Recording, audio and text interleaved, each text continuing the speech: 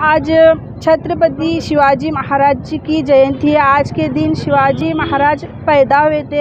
ये हमारे लिए बहुत बहुत खुशी की बात है। आज हम आकर घर से बाहर निकलकर आज हमारे हाथों से हम इन फूल पहनाए।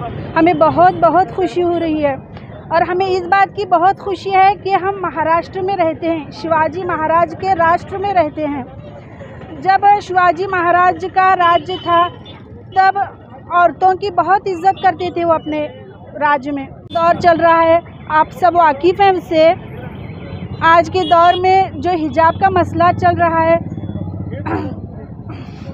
इस पर इस पर हमें, हम महाराष्ट्र में रहते हैं, इसलिए हमें बहुत खुशी है कि हमारे महाराष्ट्र में ऐसा कुछ नहीं है।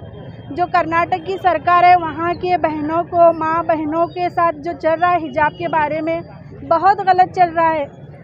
हिंदुस्तान हम सब का है, हिंदुओं का, मुसलमानों का, हम सब का है। हम बहुत प्यार से रहते हैं हिंदुस्तान में। तो हमारी कर्नाटक की सरकार से गुजारिश है कि इस तरह का विवाद ना फैलाया जाए।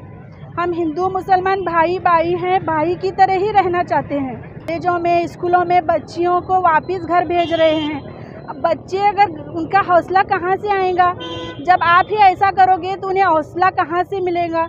वो तो अनपढ़ बन जाएँगे, फिर देश कहाँ आगे जाएगा, देश नहीं आगे जाएगा। आप रोज़गारी के बारे में सोचो, देश को आगे बढ़ाने के बारे में सोचो, ये फजूल मसलों को प्लीज़ मत उठाओ।